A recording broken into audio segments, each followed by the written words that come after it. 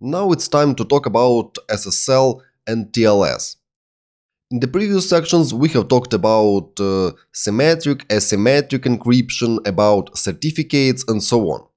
And uh, you know that uh, certificate is uh, used primarily for establishing trust between web browser and web server. So when web server supplies you certificate, you verify signature in that certificate, you verify its validity period, uh, and so on. But uh, certificate is not used itself for encryption of data between uh, web browser and web server. And that's uh, where SSL and TLS protocols come in.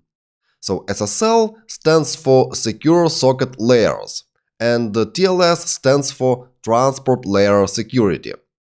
And both SSL and TLS are cryptographic protocols. And that means that they are used primarily for encryption of data. And those protocols are used in HTTPS. But uh, what is the connection between SSL TLS and certificate? Actually, certificate itself is not dependent uh, and does not set exactly which uh, protocol, either SSL or TLS, must be used for data encryption. And it means that the same certificate may be used either for SSL or TLS. So sometimes uh, you hear such term as SSL certificate. Sometimes uh, SSL TLS certificate sometimes TLS certificate.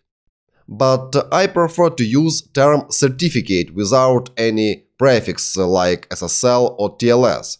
That's because of reason above. So certificate doesn't depend on specific uh, protocol SSL or TLS. So each certificate may be used either for SSL or TLS.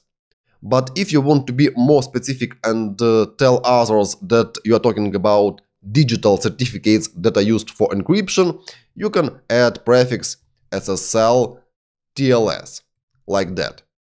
But very often, term SSL certificate is used. But uh, in the next lecture, I'll explain you why this term is actually wrong and should not be used anymore. So see you in the next lecture.